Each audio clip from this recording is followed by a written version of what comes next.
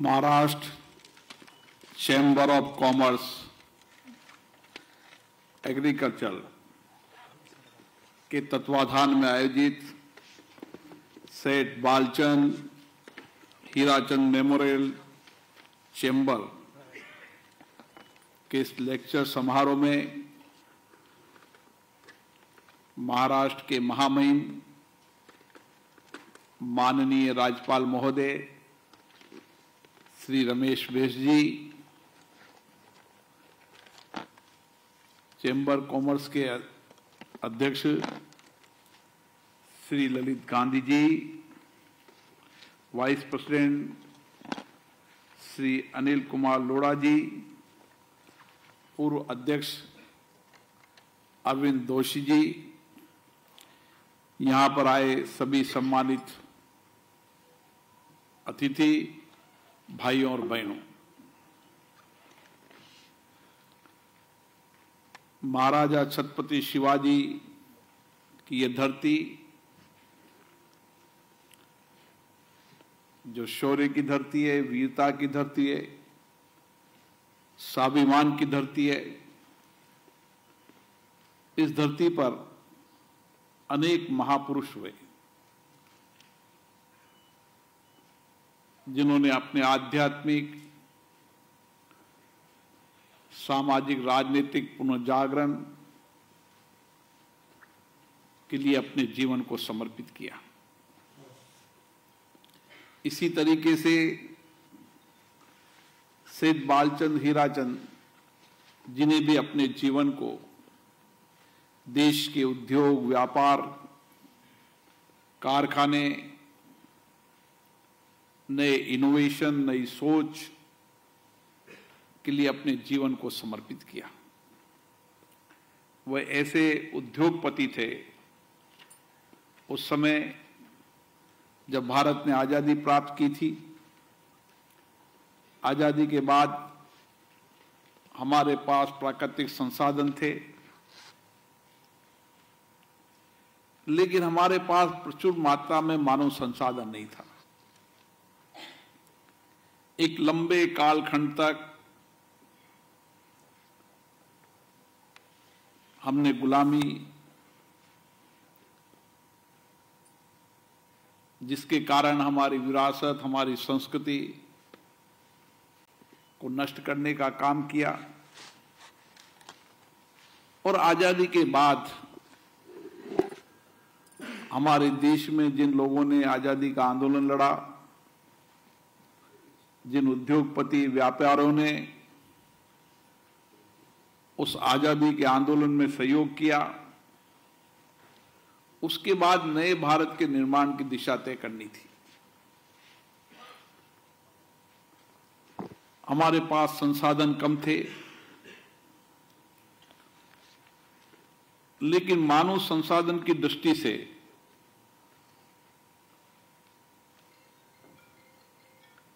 बौद्धिक क्षमता की दृष्टि से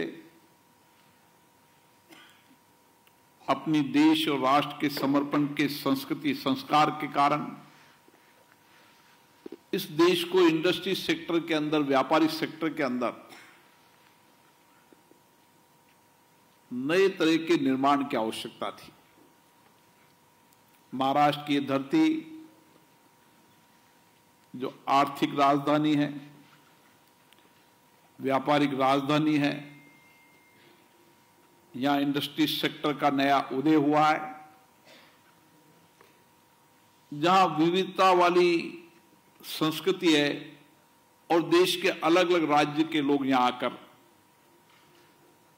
अपनी क्षमता के आधार पर काम कर कर उन्होंने यहाँ पर उद्योग, कारखाने, व्यापारिक सर्विस सेक्टर, विभिन्न सेक्टरों के अंदर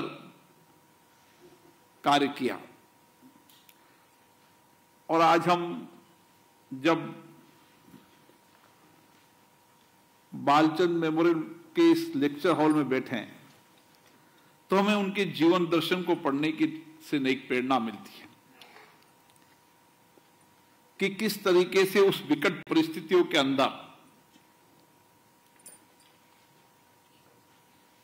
जब हमारे पास इनोवेशन नई रिसर्च के संसाधन कम थे,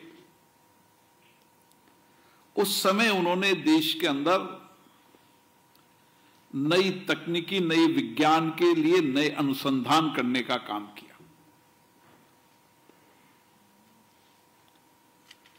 और देश को हवाई जहाज़ से लेकर, कार से लेकर, तमाम ऐसी नए इंडस्ट्री सेक्टर के रास्ते खोले। जो लगता है कि इतने साल पहले उनका क्या चिंतन होगा, क्या सोच होगा, क्या विचार होगा, कितनी दूरदृष्टि होगी। लेकिन उन्होंने एक रास्ता तय किया। और आज हम पिचहत्तर वर्ष के इस अमृत काल में गुजर रहे हैं तो ऐसे लोगों से हमें प्रेरणा मिलती है। हमें छत्रपति शिवाजी से प्रेरणा मिलती है किस स्वाभिमान के साथ वो लड़े। शौर्य था, स्वाभिमान था। हर संघर्ष युद्ध के अंदर रणनीति थी। ऐसे जितने भी महापुरुषों के जीवन को हम पढ़ते हैं, उनके जीवन दर्शन को जानने की कोशिश करते हैं। तो हमें एक नई प्रेरणा मिलती है। और इसी तरीके से सेठ बालचंद जी के जीवन को जानने से भी हमें उसी तरीके की प्रेरणा मिलती है। ये सही बात है कि इस अमृतकाल के पिछहत्तर वर्ष में आज भारत हमारी बौद्धिक क्षमता के कारण हमारे नौजवानों के सामर्थ्य के कारण, हमारे नौजवानों के नए इनोवेशन नए रिसर्च नई टेक्नोलॉजी के कारण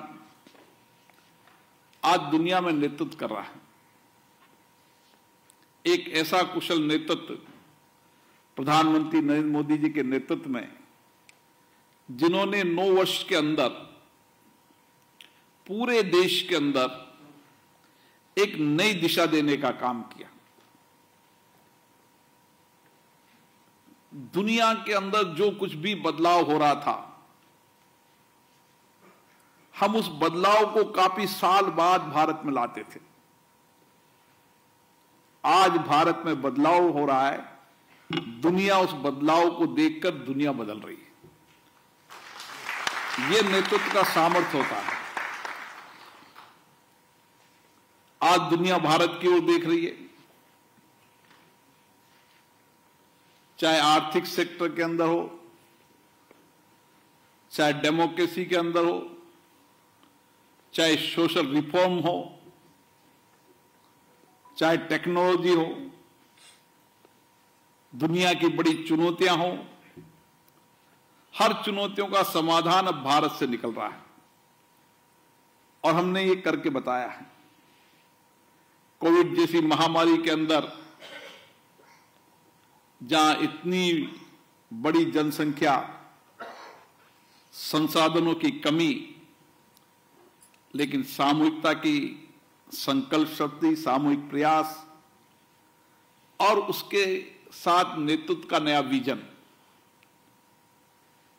हमने देश, आपदा से देश को नहीं बचाया, हमने दुनिया के कई देशों को बचाने का काम किया। वहाँ वैक्सीनेशन देने का काम।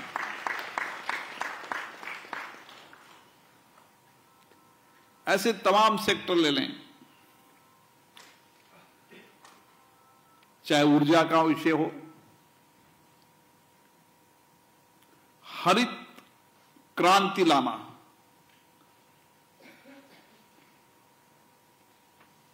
जिसके लिए दुनिया बहुत पहले सोचने लगी थी। लेकिन सोच रही थी, विचार कर रही थी, चिंतन कर रही थी। एजुकेशन कमज़ोर था।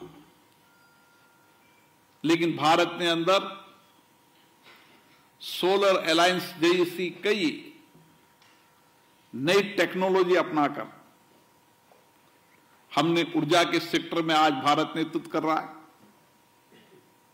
टेक्नोलॉजी के क्षेत्र में आईटी के सेक्टर में हमारे नौजवानों की बौद्धिक क्षमता के कारण केवल भारत नहीं, दुनिया के जितने विकसित देश है, उस विकसित देश के अंदर, आज टेक्नोलॉजी के अंदर भारत का नौजवान उस देश को भी आगे बढ़ा रहा है, दुनिया को नई दिशा देने का काम कर रहा है।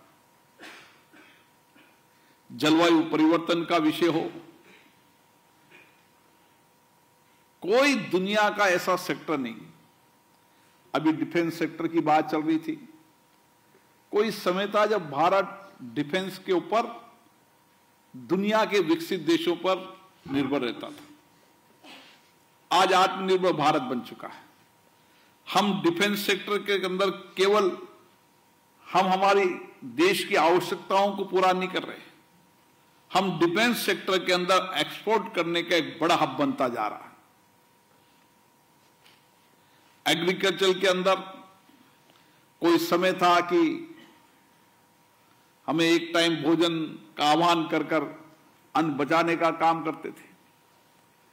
आज अन्य सेक्टर के अंदर एग्रीकल्चर सेक्टर के अंदर, आप देखेंगे कि आने वाले समय के अंदर अंतर्राष्ट्रीय स्तर पर हमारे अनाज, जिनकी पौष्टिक वैल्यू जिनकी खाने के कारण जीवन स्तर में सुधार उसके लिए भारत नेतृत्व कर रहा है।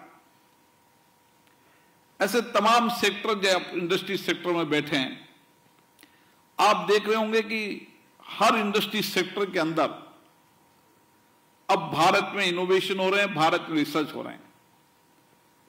और आप इस 25 साल के अमृत काल के कालखंड में देखना हमारे नौजवानों की बौद्धिक क्षमता और इनोवेशन रिसर्च की क्षमता जब मैं देखता हूँ, दुनिया के अंदर विकसित देशों में भी जब जाके देखता हूँ, कि वहाँ जो कुछ भी टेक्नोलॉजी हो प्रोफेशनल सेक्टर के अंदर हो, चाहे इंजीनियर हो, चाहे आईटी हो सीए हो डॉक्टर हो, हर सेक्टर के अंदर, उस देश के अंदर, उस देश के विकास में नई टेक्नोलॉजी को इनोवेशन करने में किसी का योगदान है तो भारत के नौजवानों का और इसीलिए भारत में आने वाले समय में इनोवेशन का और टेक्नोलॉजी का नया हब जिस तेज गति से पकड़ रहा है, हम दुनिया की चुनौतियों का समाधान हमारे विश्वविद्यालय होंगे। और इसीलिए आज हम सब उनको याद कर कर उनसे प्रेरणा लेंगे और आत्मनिर्भर भारत हो, आत्मविश्वासी भारत हो। नया भारत हो, विकसित भारत के सपने को हम पूरा करें, दुनिया में भारत हर सेक्टर में नेतृत्व करे यह आप सबकी ज़िम्मेदारी, हम सबकी ज़िम्मेदारी है। हम सामूहिकता के साथ मिलकर, सामूहिक प्रयासों से काम करेंगे तो निश्चित रूप से हम अपने संकल्प को सिद्धि की ओर पूरा कर पाएँगे। आप सभी को बहुत बहुत धन्यवाद बहुत बहुत साधुवाद